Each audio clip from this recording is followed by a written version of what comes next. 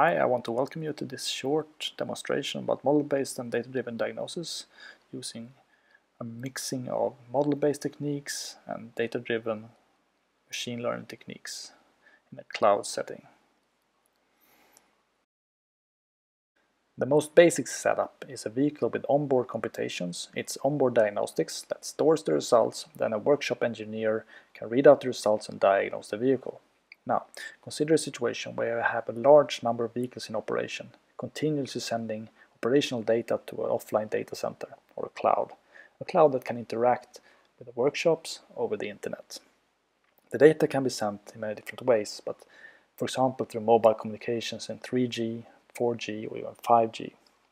This scenario has a lot of potential and that's why we have done a concept implementation. It's a research and demo platform. It's entirely distributed. One communicates over the internet. And this is what I want to talk about in this small demonstration. The engine that we use is a standard Volvo production engine. The only difference is that it has a development control system where we can inject faults in closed loop. Our concept implementation consists of a number of parts. First, the data comes from our engine test cell, or could in the future come from a vehicle in normal operation. The high-resolution data is then processed at 1 kHz by a model-based diagnosis system. The data then aggregates and is sent over the internet to the data center or the cloud. The cloud then stores data in the database, it classifies and updates all the machine learning models. There's also a web interface that corresponds to the workshop that can look at the data and interact with the data.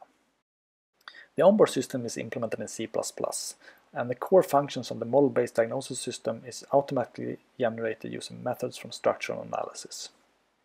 The cloud system is implemented in Python using standard web application components and for the machine learning we use scikit-learn.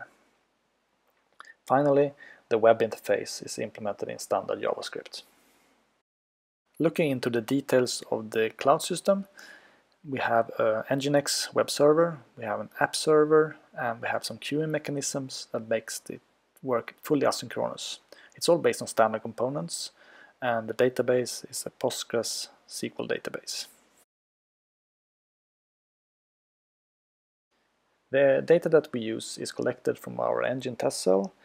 Uh, the data corresponds to a transient driving cycle as seen on the left. This driving cycle is translated into a load cycle for the test bench and sample data can be seen on the right. There are two demonstration cases that I will show. The first one is an intermittent fault in the air mass flow sensor. I will show the web interface.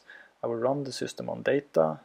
Uh, I will gather data and send to the data center which will register and classify and send the information back. I will also show a more difficult case which is a leakage by the air filter. Uh, I will then show how a workshop technician can interact with the data and retrain the machine learning models. The first thing to do is to start up the cloud server. This server now runs on this laptop, but can be run on any machine reachable over the internet. To see what it looks like, go to a web browser on your computer, or your tablet, or your phone. This is what it looks like.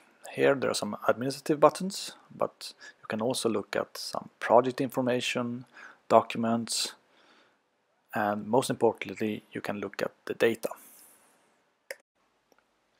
When looking at the data you see now that there are seven vehicles in the database. These vehicles are all made up, but let's clear it. Now it's empty.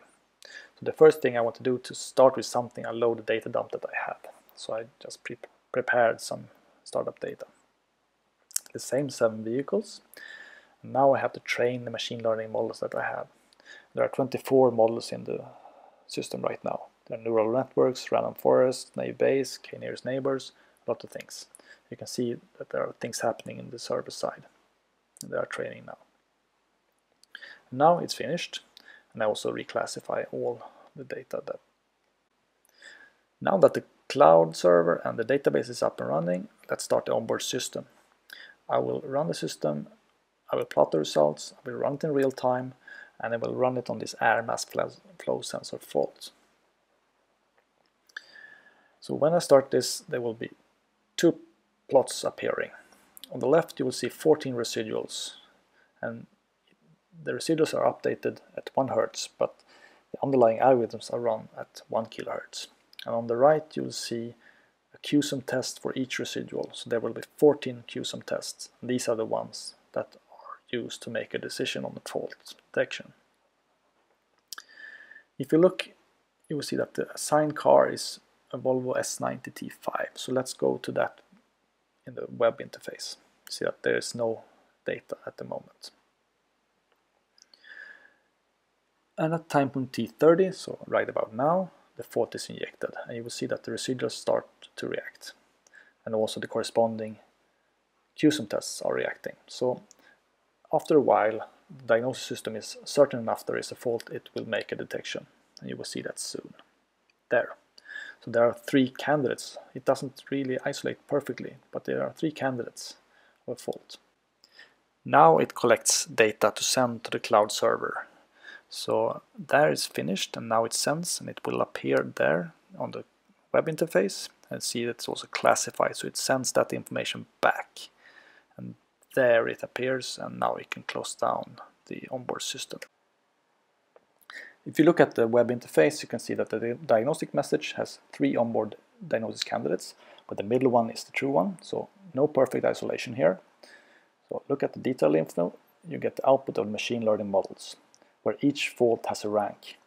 So here you see that the true fault has the highest rank, so this machine learning models could do what onboard system could not do.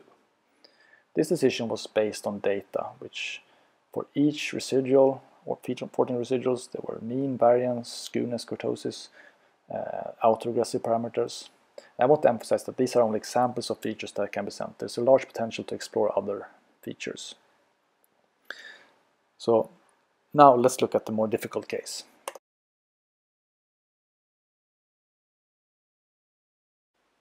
The more difficult problem is a leakage after the air filter. We implemented this in the engine using some tubing. And let's run it.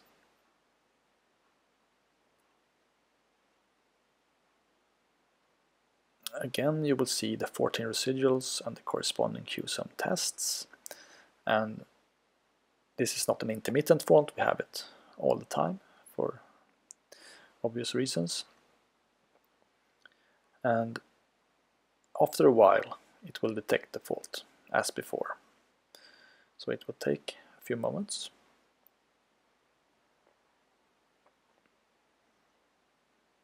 So all these are configurable how long it takes for it to be certain. But now it takes it as before there. You have three same three fault candidates. It now collects data as before and to send to the cloud server. And now that's finished. Now it sent it and it will appear in the web interface. Again, this it's classified and the information will be sent back. There. Now again, looking at the web interface, you will see that the three fault candidates all have about the same ranking. So it's not so clear which one is the true fault. So assume now that the workshop engineer figured out that this was actually this leakage. Enter it into the database and retrain the models.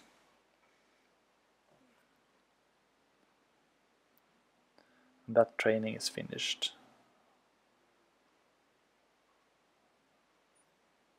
There in a moment.